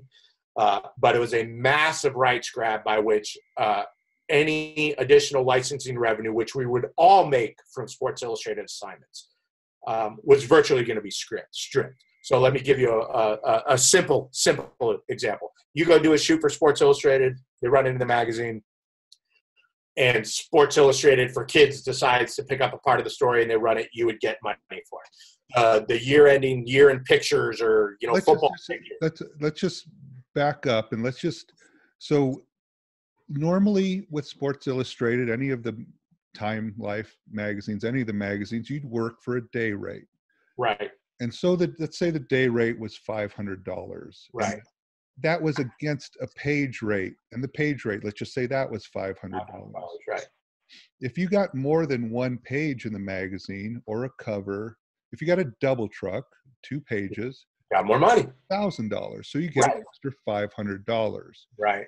If it's picked up by Sports Illustrated for kids, more money. More money. Right. If it's used in the year-end edition, more money. Now, the first right. meeting I had with Sports Illustrated was, not you know, I was 16. I didn't know. Well, no, I was like, well, I was uh, 17. I don't know, whatever. I was I was older than Neil Leifer when right. his first. I mean, the guy was 15 when he was 15, right, right. So, 15, but anyways, Barbara Henckel was the director of photography at the time, and one of my favorite sports illustrated. I, I was just this guy was the amazing Andy Hayt. Um, yeah, of course. So good. Incredible work. And she shared with me, you know, the reason she let me in her office because you know, I was like this kid from Nebraska, literally coming into it. So she had to give me, and I ended up, you know, spending a lot of. She told me so much valuable information she shared with me, but one of the things she shared, like the contracts for Sports Illustrated, the day rate was like 325, and the contract was like for 100 days. So um, you're making like 30 grand a year as a contract photographer for Sports right. Illustrated. This is back in the early 1980s. Yeah. And um, she said Andy usually makes about three times that a year with sales. Right. Licensing, I should say. So he was making, say his base was 32 grand from Sports Illustrated. All his expenses is paid are, are paid. All right. his film is paid for.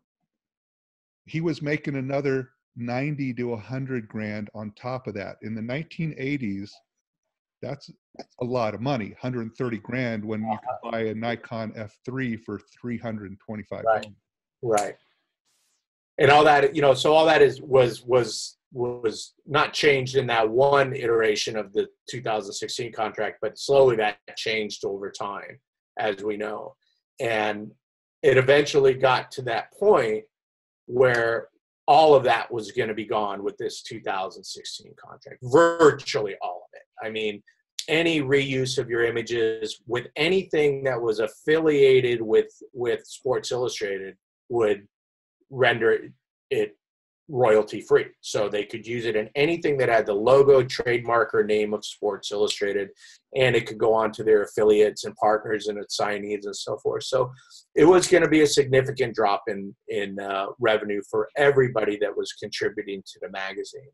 Um, well, say let's just say a hypothetical. Say you make that picture of uh, uh, whoever. Jordan. Yeah. Yeah. Now, say like Ndamukong Suh runs back a fumble for a touchdown last weekend. Yeah. Right. And whatever shoe company he works for wants to license that image for a poster. Right. Ndamukong's going to get paid. Sports Illustrated is going to get paid. The person that prints the poster is going to get paid. The, the, the magazine that runs the advertisement of that poster is going to get paid. What's the photographer get paid? In that situation, it's actually a little trickier than that, Ken, because um, that would be a, considered a commercial use. And well, let's switch it back to so a lot of the commercial use rights are locked up by Getty and AP and so forth and so on. So the reality of it is, and I'll and I'll, I'll oh right right right because that's NFL. The NFL has right. deals right, but but and not just NFL, but pretty much every major every yeah every major sport. So that that literally happened to me, where I lost what was told to me would be at least ten thousand dollars on a shoot that I'd done for Sports Illustrated on an LPGA championship, and I had a the quintessential picture of the young lady jumping in the into the water. That was the iconic picture for that tournament. Uh, the next day, Rolex, who sponsored the woman Lorena Ochoa, wanted the image, called Sports Illustrated. The editor, Miriam, called me and said, Oh, it looks like you're going to get the Titleist full page ad, and that's going to be like 10 grand. And I said, Wow, fantastic. Because, you know, great. That's going to be extra money. And then got a call back later that that was the first year, I believe, because Miriam had, had forgotten, um, just because it had just been instituted, that Getty had locked up the rights to the commercial use, any commercial licensing. So uh, Rolex had to go to Getty first, and if they literally could not find that image at Getty or something similar, um, then they could come back to Sports Illustrated. Uh, but they they found something similar because everybody shoots that picture. So, okay. but but but related to the contract, things changed to the point where you you were basically just losing all control of your work all control of your work and all licensing revenue. And the vast majority of freelancers that had worked with uh, sports illustrated up until that point refused to sign. We had a large pool of people that we pooled our money together. We hired a very uh, well-known and respected attorney in, in new york um, to negotiate that contract uh, not only on our behalf but for everybody so that whoever signed this contract was it was much more fair we received a couple of uh, uh, concessions, so to speak, more on the minor side as we continued to push. Uh, then there was kind of some epic uh, caving in right. by some photographers um, that uh, saw probably like they were going to be losing out on on work. They had a lot of eggs in one basket. Um, they ended up uh, agreeing to the to the contract, and pretty much at that point the negotiations stopped, and it became a sign this or you know thank you very much. And and and I, I want to be fair and say none of it was rude, none of it was a, any sort of rude negotiations or anything, uh, or or or you know unfriendly. It's business, and and um, it just was not a fair contract, so I walked away from it. You know and it, it, wasn't like i was walking away from 100 days a year. Let's be real Sports Illustrated and the magazines have been in rapid decline for a decade. So my whole point that I was very vocal about was why do you guys, those that are thinking of signing, why would you want to sign it when you're it, it's it's on a downhill path, guys. And if you look at this verbiage, if you look at the wording, they're getting ready to sell this. You can tell that what they're trying to sell is the archive. What they have the rights to is what is actually actually the valuable asset. And now we see today, as of yesterday, the final sale has gone through. So Sports Illustrated was sold as, as you know, with other magazines to Meredith. Meredith never intended to keep it. They made that very clear. They kept it for less than two years, I think. Sold it off to Authentic Brands. It's a licensing and brand leveraging company. Immediately, and I tweeted this out in a thread today. Immediately, you know, the New York Times and Variety and others wrote stories about the quoting the uh, CEO is saying, "Look, we we want to we want to leverage the photo archive among other things. Literally mention the photo archive. They want to build Sports Illustrated affiliated or themed sports clinics and uh, esports sites and all these things. So anybody who signed that contract, it's now with a brand marketing company. They have the rights to use that because the terms in the contract said all of the terms go forward to any sale. So you know, it's just it's a bad situation. We saw this coming many of us saw it coming, and it actually happened almost exactly as we thought it would. And it's unfortunate. So, uh, allow me to sum this up.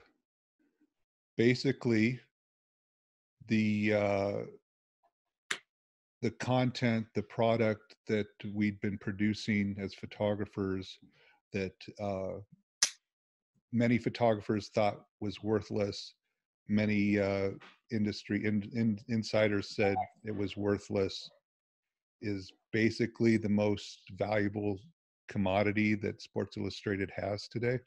That that as succinctly as you can put it is a hundred percent spot on. That's it. That's what they sold. Sports Illustrated was selling their most lucrative asset, which was the rights to the archive and their brand name, the Sports Illustrated swimsuit, and, and all those types of things but before they do it it's important that you look at like how these things are done in retrospect we some of us saw it frankly up front because it wasn't hard to see but they were lining up to make sure that they got the rights they needed with that new contract and then the dangling of oh you know here if you sign this we'll get you work and a lot of people that had never worked for sports illustrated before before that bad contract. And then a bunch of us didn't sign it. And then all these new people swooped in and signed it. So what did they get out of it in two years? One assignment? Two assignments? What came of it? I can tell you virtually nothing because the magazine cut down to every other week. They were bare, they had like one editor in the office that was assigning work. There was there was nothing there. So why would you assign the way the rights to your work for like a couple of assignments? What if you got a really important, really important image that might actually you would like to control? And not incidentally, Ken, not just for revenue, but we should be able to control our work so that we have those that have created it the rights to say where it can be placed and can't be placed, especially when we're talking about more sensitive issues that are in politics or social social issues. You know, that's an important point. No, it's a huge point, and it's uh, it's a moral question that I don't understand how pe- I just don't get it. So, Sports Illustrated, for all practical purposes, does doesn't exist anymore. Uh, ESPN, the magazine, doesn't exist anymore. Although I did see the body issue on the stands. This, right. um, you know, got to shake that moneymaker. Um, what's up with have you have you, have you this this uh this online only site that that goes by subscriptions and uh the athletic the athletic have you have you had a chance to look at their contract i have. It's um you know I, i'll just be honest with you. I mean I'd, I'd love to say it's a good contract. It's deplorable. It's horrible. It's horrible. It's a pathetic rate. It's a rights grab. And they're just it's really almost the same. It, the way I look at it is until Vice, and I have not seen Vice's recent reiteration or anything, but Vice several years ago was, you know, a lot was written about, you know, once it became apparent how poorly they were treating not just, you know, freelance photographers, but just freelancers in general. Um, not contractors, everybody. Contractors. Yeah, everybody. I mean, just the guy ridiculous. who delivers their you know, right by the gallon. meanwhile, you know, the founder is living in his mansion, quite literally in in Beverly Hills. So, you know, look, we, you know, not to be overly cynical, but it, that, the athletic kind of reminds me to some degree of that. It's built its name into a solid name already. I actually, for a sports fan, it's a good site, you know, but for somebody that would want to contribute to that, um, you know you're just not it's just not an adequate fair contract in my opinion that that takes care of the the contributor even at a reasonable fair market rate it's so below i mean a publication of that nature should be paying at least up in you know 750 per assignment or something i mean i think if i recall because i look at a lot of contracts it's something like a couple hundred dollars i mean it's equivalent to like a small newspaper rate. It's it's uh, their their their their day rate. Not only is it a complete buyout, work for hire, all that kind of stuff, but you couldn't rent the gear you need to complete the assignment for what they're paying you. Right.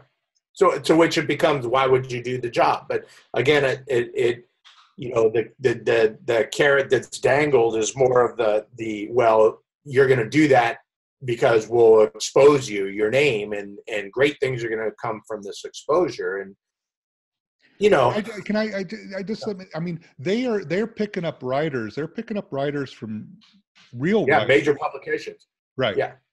They're not uh they're not playing i don't think they're working under that general contract though when you're when you're looking at some of the names that they have on there i'd be willing to bet my i'd be willing to bet my car I'd be willing to bet a house payment, neither of which is very high, by the way, because I drive an old car and live in a small house that I bought 30 years ago. But uh, I can tell you that I don't think at all that they're going to get big names in the sports world for a you know $200 a day.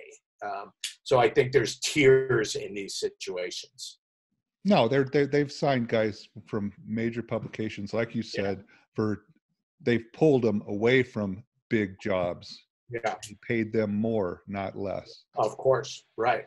And then they want us to fill in the blanks with, uh, you know, great photography. That it's if you actually do a cost of doing business, you're losing money. Yeah, you're literally losing money. You'd be better off doing a shift at McDonald's than shooting for the last athletic. And, and you know, we, we, we, we've said that before, and I've talked about that before. There's some legitimacy to something like that. I personally would respect and admire and follow the same path if I was in that boat to go take a job driving an Uber, driving a Lyft, working in some capacity completely outside of photography. If that meant that I could control my work, shoot what I want, work with clients that offer me fair contracts, but maybe not as often, you know, not as many uh, assignments. So I would be more willing to go that route than to give it all away to a major media company that has CEOs that they're paying in the six figures and seven figures and all that type of stuff, to which you're actually losing money. It just does not make sense. It doesn't make sense to me. You're not even producing the type of work you want to produce, probably. Right. That's that's the thing. Could you imagine, you know, uh, Ernest Hemingway going out getting his marching orders from uh, some suit in New York City to uh, to write about Cuba, and then they get to publish the book and get all the profits from the book. You know, you know, the old man in the sea, whatever. I mean, it's just like right. it's crazy. It's crazy. It is, it is. and and and and, and I show I show this a couple of videos, but there's one video that I workshop has people howling with laughter because it's so real and it's so to the point. And it's these various situations where this guy is very professionally done. This guy goes in to like a, a diner, a real diner. I mean, he's like this old man that's behind the diner counter, and he says to him, like, okay, so I'd like to try one of your breakfasts first. And you know, go through this whole thing, and then, but if I come back, I want a discount. And then, you know, and then he goes to like a guy that makes picture frames and he says, okay, if I bring you my business, then I get all the picture frames for free for the next five years, right? And and of course, like they do it almost uh, in that in that gag way from that one actor that goes around and gags people. I forget his name, but um, Sacha Baron Cohen. Uh, right. So, yeah, and and these people are looking at him like, "Are you out of your freaking mind? Who does business like? Get out of my shop!" They're literally like, "Get out of here!" Right, right. It's like that's exactly what they're asking us to do. You know, it makes no sense to me. Um, and again, I would rather see a young photographer take on a secondary job and go produce work for clients where they're not giving that away and or produce work on their own where they're really producing some really nice strong photojournalism and then taking that to publications that might publish it receiving a licensing fee and building your name that way. Right. So tell me in that in that regard, you I know you've you've spent a lot of time um, putting together information and trying to trying to help people with this uh, with this uh, land, you know, just minefield full of like contracts and business practices and everything. What what exactly are you doing these days as far as uh, speaking to colleges and all that kind of stuff?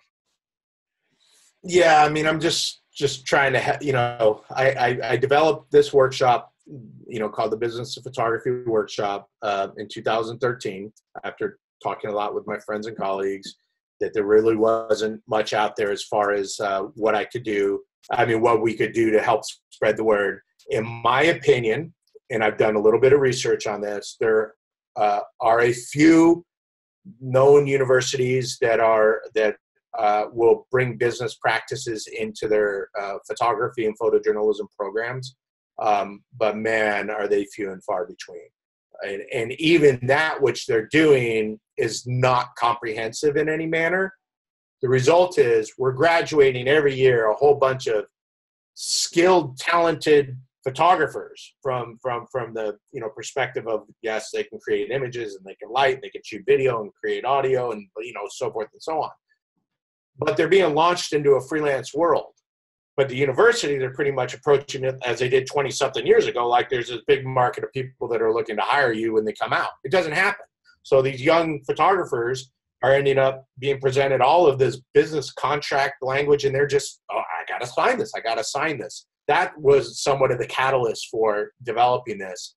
Um, so I teach it, you know, uh, wherever somebody wants to bring me in. So I do speak at colleges. I do speak, you know, I've spoken at NPPA and ASMP, and I, I do these types of things and webinars. Um, but the actual course is held a couple times a year at UCLA here in, in Los Angeles, and then uh, other places if they want to book me and bring me up. It's it's you know we go deep, deep for two days. It's 15 hours.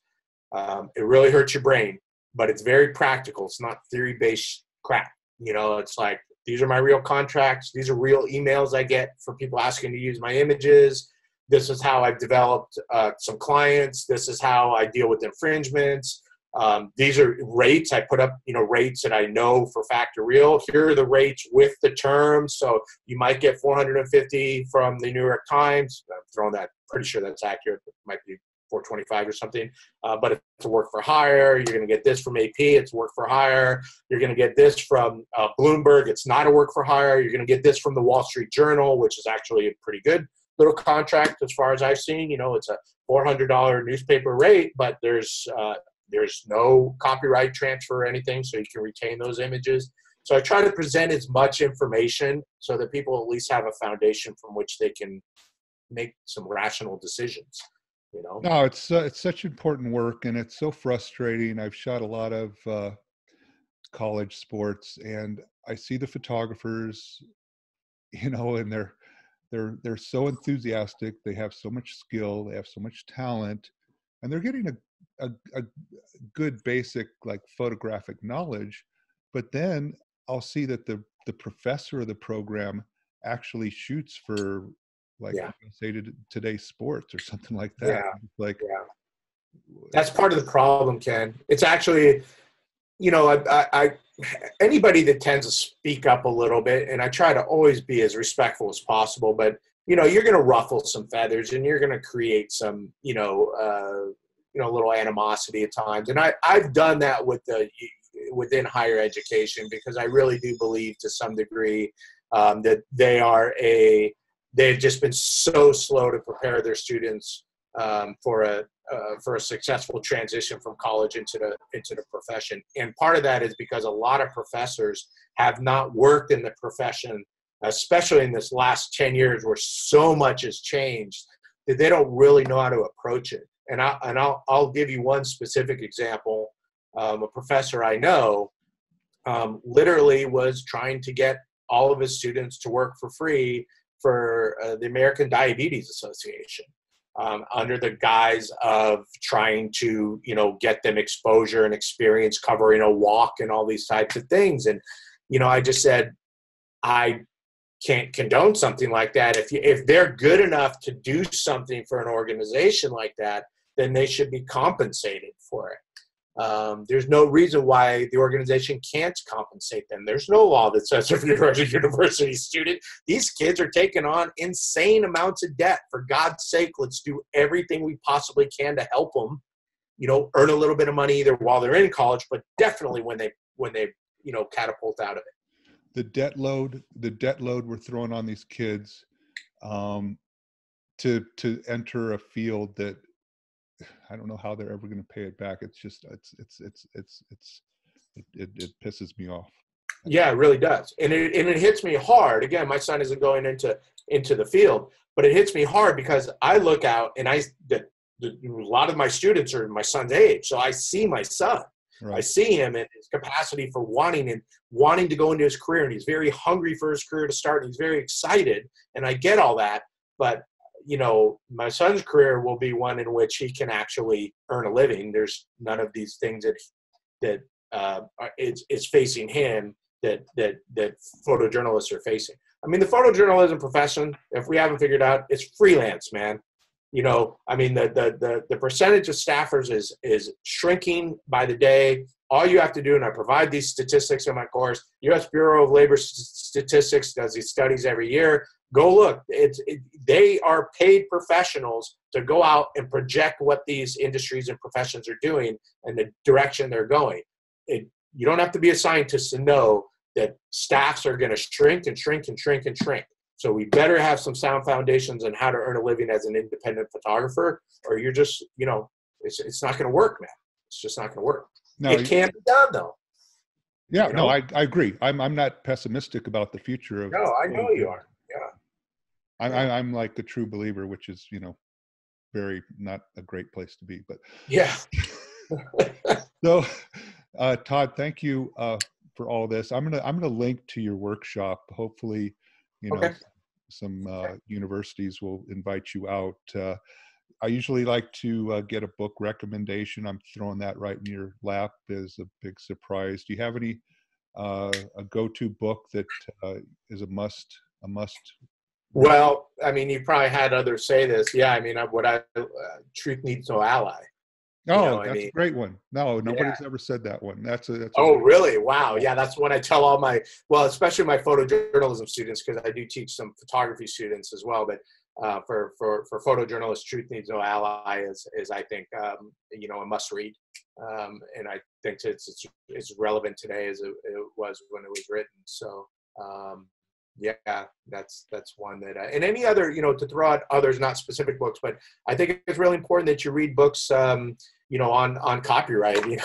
I actually have one right here by ken norwick you know i mean his his latest book that you can see has all sorts of you know nice. markings and so forth. Yeah i mean you need you know these are things that you just have to be knowledgeable on on things and and hopefully you know read enough so that you can can help yourself. Yeah yeah, can I say thanks to you real quick uh, for a couple things? One, for doing this, uh, for giving me an opportunity to come on and, and talk to you, and and also for talking to me to some degree about my pictures as well. Because in the last, you know, I'm a photographer, and and you know, uh, in the last several years, I, I get talked to a lot more often about the business side of things, which is great. I, I, I need to help and spread that word. That's my way of trying to give back.